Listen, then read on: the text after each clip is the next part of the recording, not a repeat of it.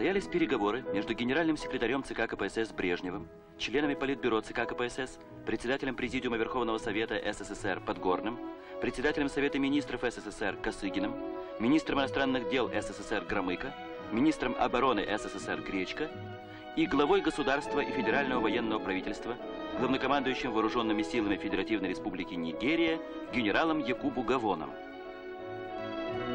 В ходе переговоров был всесторонне обсужден ряд важных вопросов, связанных с дальнейшим развитием и углублением советско-нигерийского сотрудничества в различных областях. Переговоры проходили в духе сердечности и взаимопонимания.